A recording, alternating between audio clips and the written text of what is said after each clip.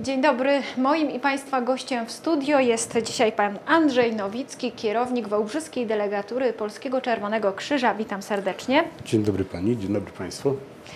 E, Panie Andrzeju, Polski Czerwony Krzyż to organizacja, która ma wieloletnią tradycję w naszym kraju. E, Zajmujecie się wieloma aspektami. To nie tylko krwiodawstwo, nie tylko pomoc najuboższym czy osobom potrzebującym, no ale także szereg innych działań. Najpierw właśnie chciałabym spytać o Państwa status. Więc tak, nasz statut uprawnia nas do tego, a zarazem e, obliguje do e, działania w bardzo szerokim zakresie. Począwszy od ochrony środowiska po działalność środowiskową, edukacyjną, dzieci, młodzieży, współpracę z seniorami. E, również zajmujemy się mm, jednym z elementów, jakim jest krwiodawstwo. To znaczy nie pobieramy krwi, aczkolwiek e, tutaj e, jesteśmy partnerem dla Centrum Krwiodawstwa, jeżeli chodzi o propagowanie, żeby była jasna sytuacja, propagowanie e, honorowego krwiodawstwa. Również e, Polski Czerwony Krzyż prowadzi i, wyróżnia, nagradza e, krwiodawców z tytułu ilości oddanej krwi. Stąd też ostatnio zrobiliśmy krok w stronę dawców. Udało się dojść, e, zawrzeć porozumienie z władzami miasta i wprowadzono darmowe przejazdy komunikacją miejską dla zasłużonych, honorowych krwiodawców pierwszego stopnia. Nie było ciężko e, przekonać radnych do tej inicjatywy? E, To był dosyć długi proces, aczkolwiek no, ku naszemu zadowoleniu i chwała e, radnym miejskim za to, że zostało to przyjęte jednogłośnie, więc jesteśmy z tego tytułu bardzo zadowoleni i usatysfakcjonowani, tym bardziej, że korzystają z tego krwiodawcy. No właśnie, przybliżmy te zasady, y, uprawnie, znaczy te uprawnienia, które pozwalają nam do jeżdżenia y, za darmo komunikacją miejską, bo owszem, jest to dla krwiodawców, ale nie dla wszystkich. Tak, y, życie pokazało, że te przejazdy darmowe wprowadziły, ten przywilej wprowadził sporo zamieszania wśród krwiodawców, jak również y, wśród kontro, kontrolerów i konduktorów. Y, Jest tak, że ten darmowy przejazd, ten przywilej przysługuje krwiodawcom zasłuż- zasłużonym krwiodawcom pierwszego stopnia, którzy oddali minimum 18 litrów krwi. Jest to bardzo, bardzo dużo. I To w jest, przypadku mężczyzn tak, oczywiście. e, w przypadku kobiet sytuacja wygląda tak, że muszą, są z, e, gdy oddadzą 15 litrów krwi, wówczas e, również uzyskują ten status. No i to jest bardzo zaszczytne. Cieszymy się z tego, gdyż e, zarówno ten przywilej e, zrobił, zrobił taki gest w stronę dawców, jak również spowodowało to dosyć istotny wzrost ilości e, pobieranej krwi. Cieszy nas ten wzrost, gdyż e, krew jest lekiem, który, który nie da się uzyskać e, inną metodą, tylko bezpośrednio od człowieka, a to e, jest bezcenne. A nie obawia się Pan, jak już teraz tak wyjaśniliśmy szczegółowo, ile tych litrów krwi trzeba oddać, żeby za darmo jeździć autobusem, że niektórzy pomyślą, oddając 450 ml jednorazowo, to ile ja muszę razy oddać, żeby te 18 litrów uzbierać? I się zniechęci.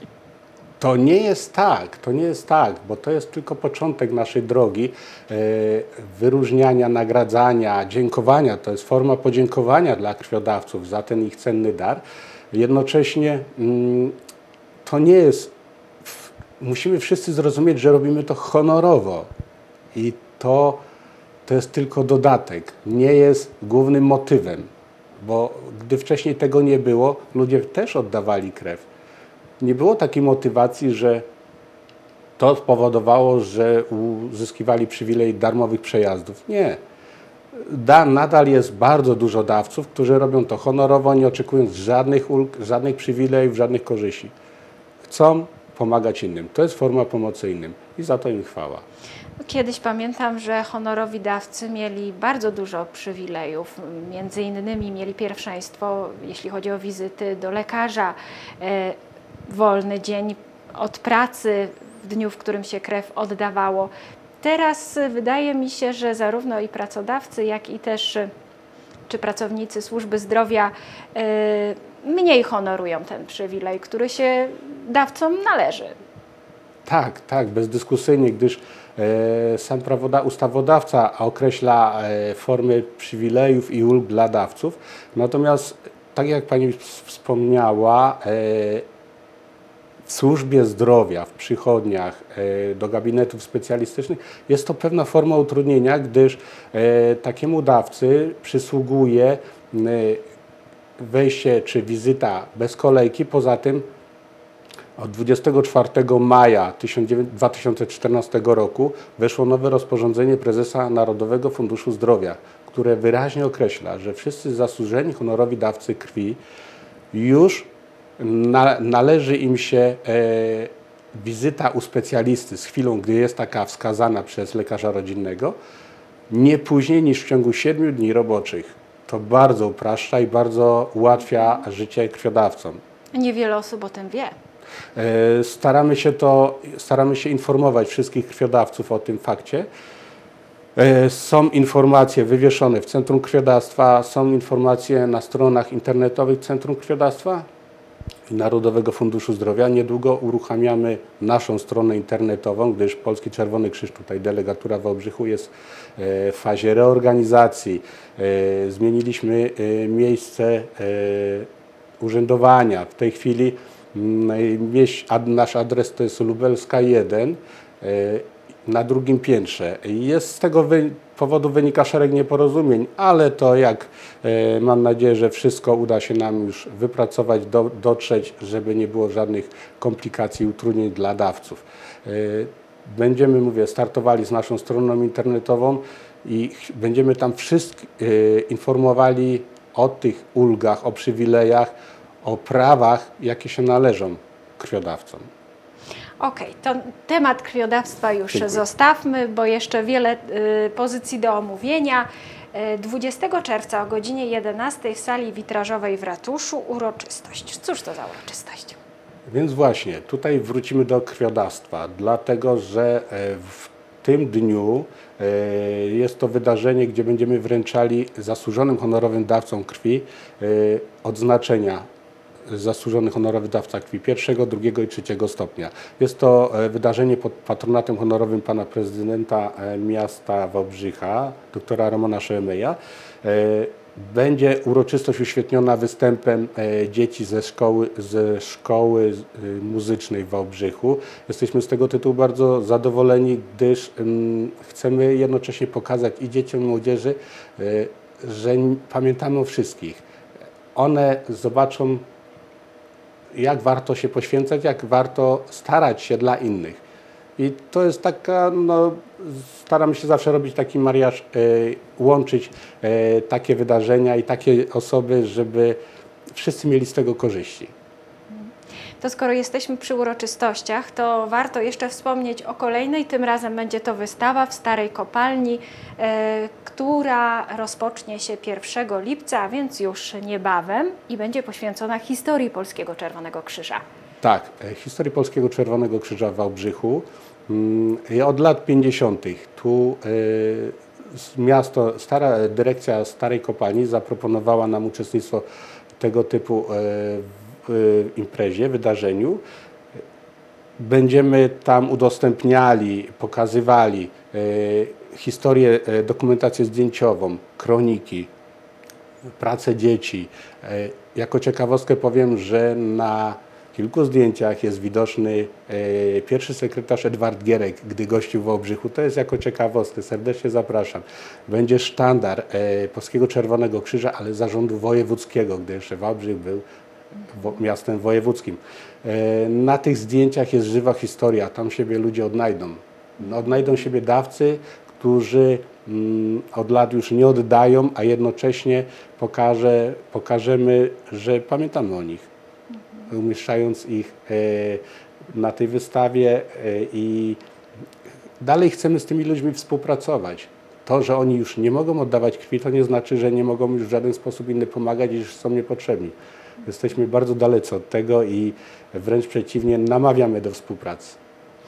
pomagacie Państwu starszemu pokoleniu. Na naszej antenie mm, prezentowaliśmy e, taki materiał dotyczący przekazania roweru starszemu panu, e, który no, dla niego jest to ogromne ułatwienie życia, bo będzie mógł się teraz swobodnie poruszać. E, Pomagacie także młodzieży i to młodzież szkolicie. Na czym polegają te szkolenia? E, W naszych szeregach nasz, jedną z naszych dziedzin działalności jest pierwsza pomoc, szkolenia z pierwszej pomocy. E, Pośród nas mamy młodzież, młodzieżowych instruktorów, e, którzy są przeszkoleni z pierwszej udzielania pierwszej pomocy i oni robią pokazy, prezentacje.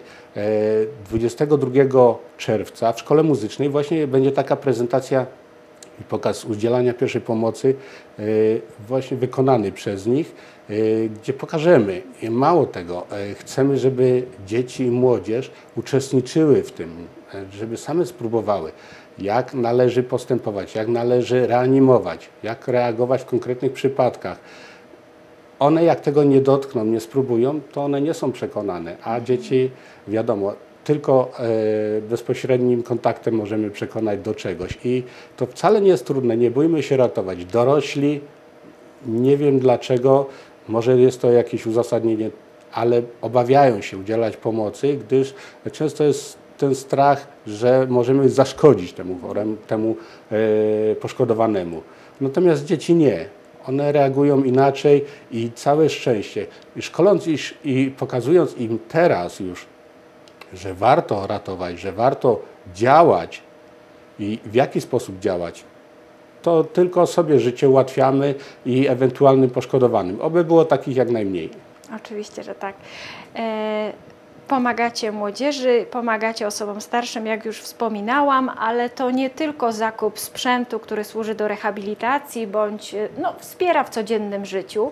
E, To szeroko zakrojona pomoc.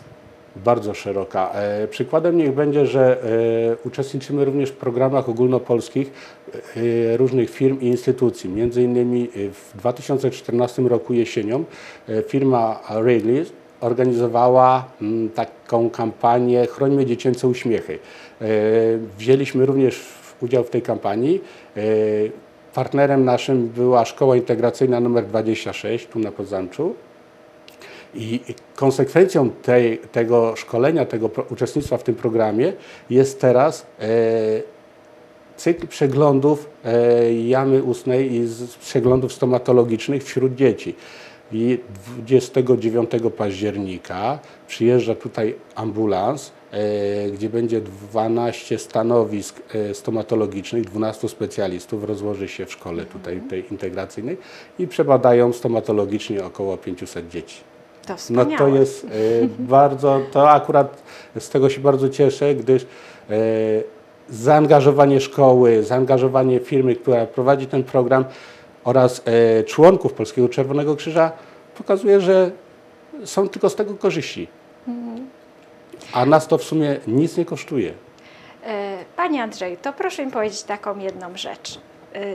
Od dwóch lat mniej więcej dużo się słyszy o Polskim Czerwonym Krzyżu w Wałbrzychu, a wcześniej była jakaś stagnacja.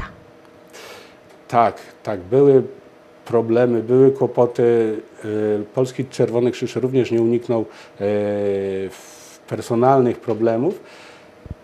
I długo władze, zarząd okręgowy z Wrocławia nie mógł znaleźć nikogo, kto by podjął się kierowaniem zarządzaniem y, Polskim Czerwonym Krzyżem, delegaturą tu w Wałbrzychu.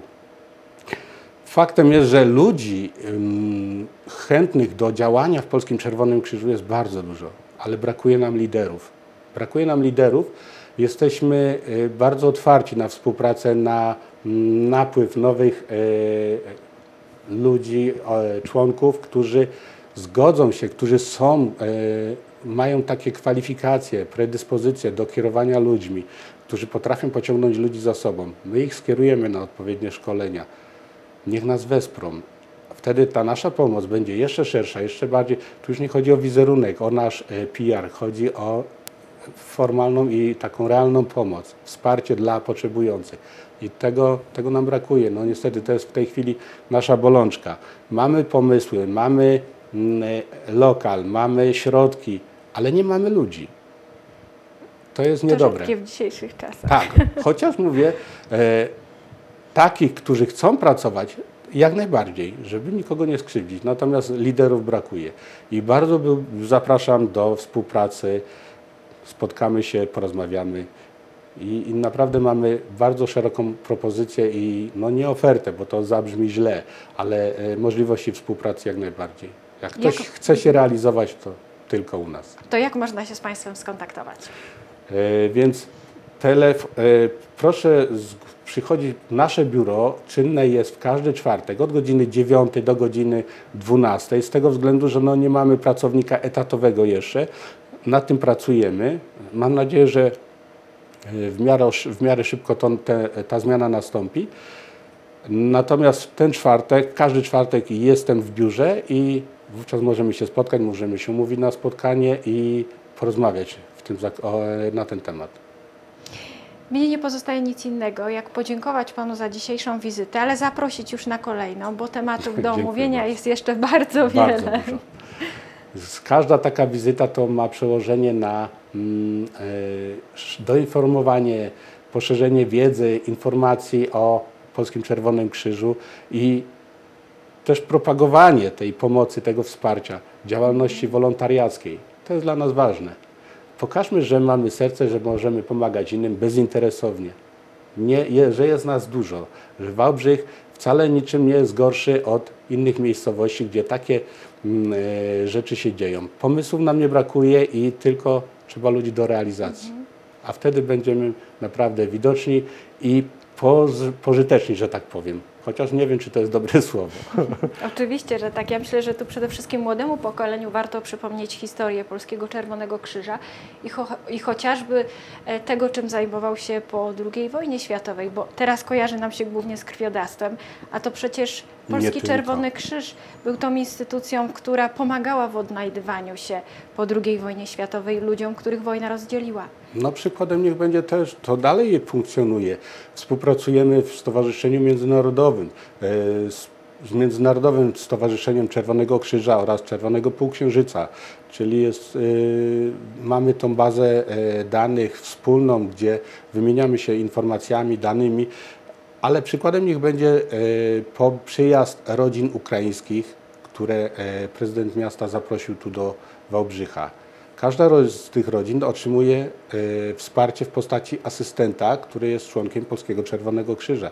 My im ułatwiamy życie, my im pokażemy w jaki sposób, gdzie i jak załatwić różnego rodzaju sprawy, Preze- zaprezentować miasto.